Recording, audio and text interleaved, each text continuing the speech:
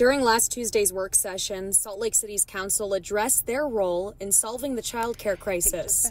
I didn't realize that pretty much half the city now it doesn't allow daycares. I was pretty shocked by that. Council members are considering a zoning change that would permit daycare centers in all zones of the city and would raise the maximum number of children allowed in a home daycare from 8 to 16, which aligns with Utah state code. We've seen all over the state that this is a challenge. And so for Salt Lake City to take this step is really important and hopefully will signal to other um, cities and counties that there are things we can do to make childcare more accessible in our communities. Bridgette Weir with the Care for Kids Network says with COVID era funding for childcare expiring last September, hundreds of programs could close. We are already seeing centers close, home programs close.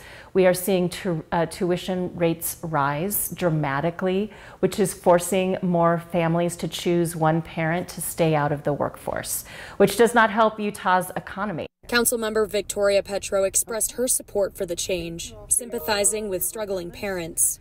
Were you able to find other childcare, or are they just hanging out in your office right now? They're just upstairs. That's that's what my kids do too. I did find Okay. other ones, but it's it's tough out there. yeah, yeah, and so expensive. The council is slated to hold a public hearing and take action on the zoning changes in March. In Salt Lake City, Jenna Bree, Fox 13 News, Utah.